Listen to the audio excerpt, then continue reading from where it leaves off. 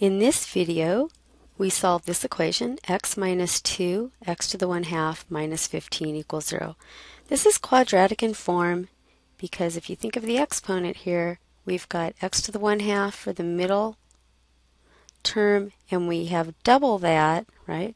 You're squaring, you're doubling that exponent to get a 1 for the first exponent.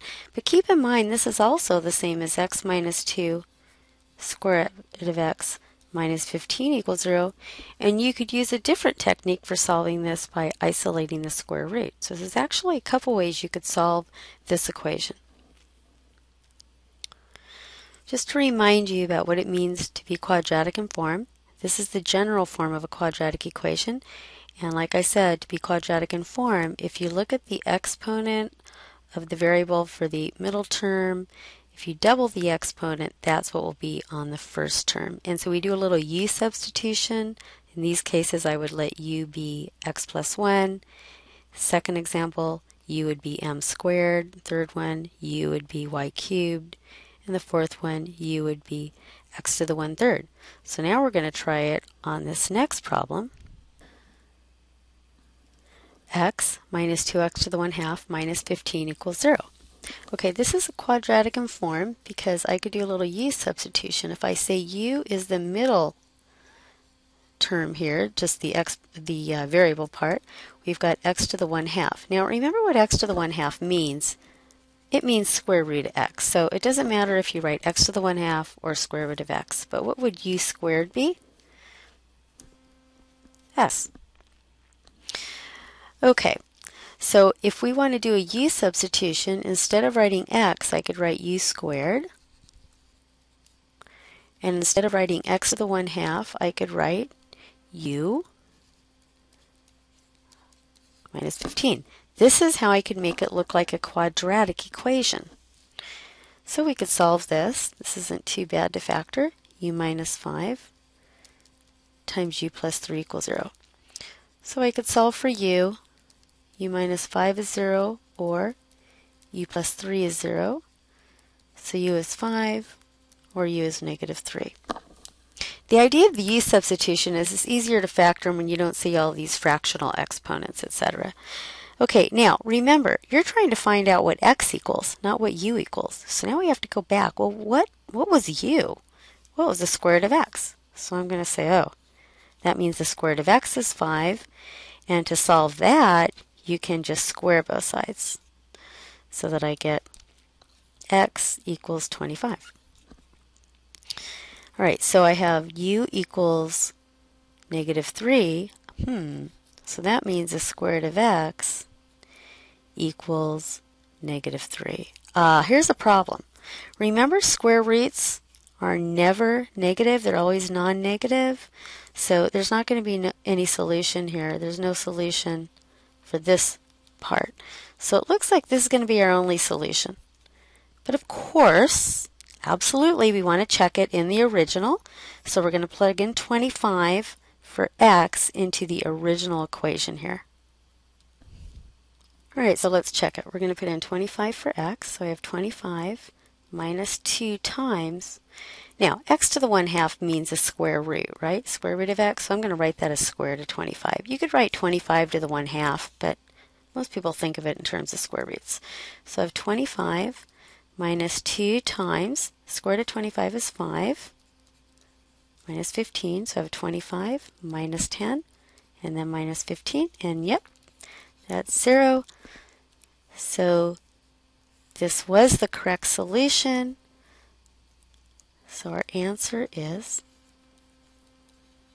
25. Okay, so that's how we can solve this by recognizing that it's quadratic in form. And using the u substitution makes it easier for most people, although you can take this equation And, and some people don't do u substitution. They just go right to it and write x to the 1 half or square of x and square of x because they know that's going to give you your x. And they go minus 5 and plus 3, but most people have a little trouble going directly to this step. But if you can see it that way, if that makes sense to you, whoops, a little bit too far here.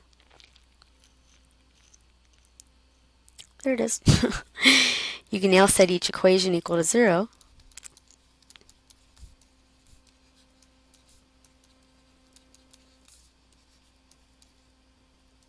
And solve. Squaring both sides again, you're going to get 25 here.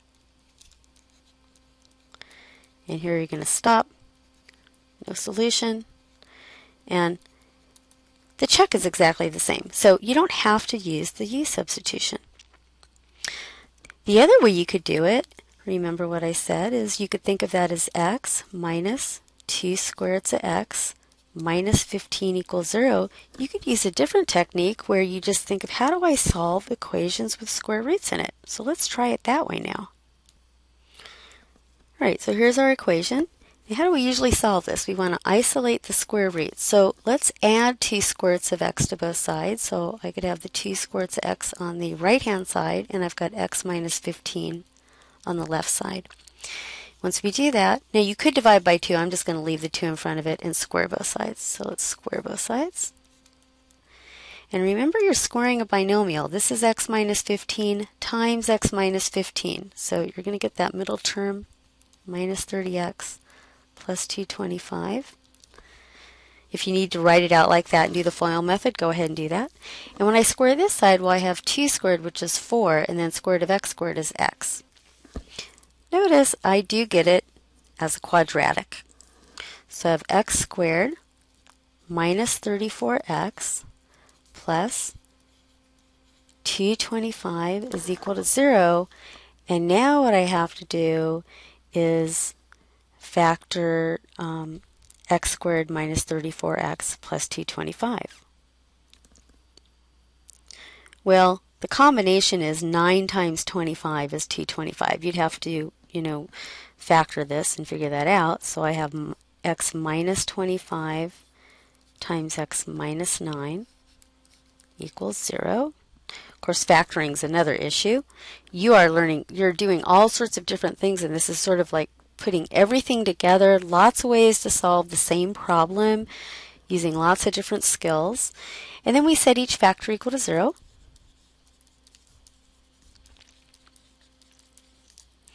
And I get two solutions. And of course, you have to check these two solutions. Well, we already checked x25 previously, so I'm not going to check it again. We already know that for sure works. But let's see why x, x equals 9 does not work. Right, so you would also, of course, try to check and see if 9 works. So if you put in a 9 for x minus 2. Now, you could have written this as x to the 1 half. I'm just leaving it as square root. But, of course, that's the same thing as x to the 1 half, which is how it originally looked. And that gives you 9 minus 2 times 3 minus 15, which is 9 minus 6 minus 15, which is 3 minus 15 or negative 12. Uh, and so it, it does not work, so that is not a solution. And so here we've um, solved this problem a different way, and the only solution that worked was 25. And so that is the solution to the original problem, done multiple ways. Let's just look back so you can remember the ways we did it. The first way we did it was by uh, substituting u for x to the 1 half, plugging it in. Okay, that was method 1. Method 2 was not doing any substitution, simply writing it as squared x or x to the 1 half and working it this way if you can do that without substituting u first. And then the third method was solving it like you would solve for um, square root equations with square roots by isolating the square root and solving and checking. And in the end, the only thing that checked was our x equals 25 right here. Okay, all three methods.